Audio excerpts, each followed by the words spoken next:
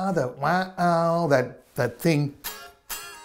Um, I think that was something that Suze sang just when we were messing around with it, just you know, messing around in the bedroom kind of thing. Just had the little band there. We used to do all these. We always did bedroom, bedroom or lounge room practices. You know, just just banging through ideas and all that sort of stuff.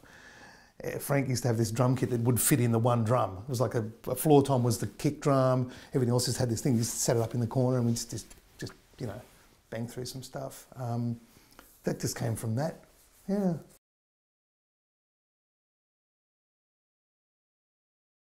That was written, or yeah, came up. I came up with that on the morning of the recording of that song.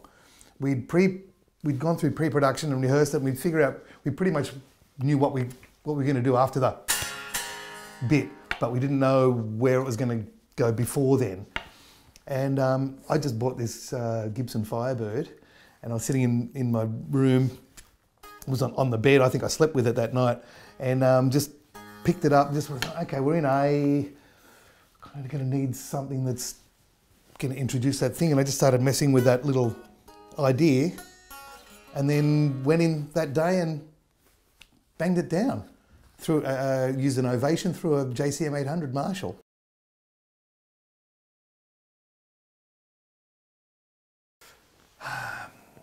Um, the first night of the Van Halen tour, we were sound checking and everyone was bristling with the, the energy was crazy. It was the the Baby Animals album had gone number one that day in Australia. We were overseas. It was the it was the 26th of January 1992, and we were sound checking.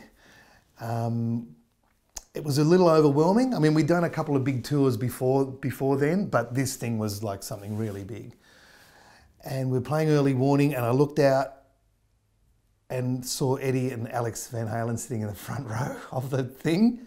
And it, yeah, it, it, flipped me out a little bit. I kind of turned my back and pretended there was something wrong with my amp. Thought, oh man, that's him, you know, my hero. And we got to become really good friends. We hung out. We did like 60 plus gigs with them on that run. It was a whole lot of fun. Yeah, they were all, all amazing gigs. We got really well looked after. Yeah. yeah.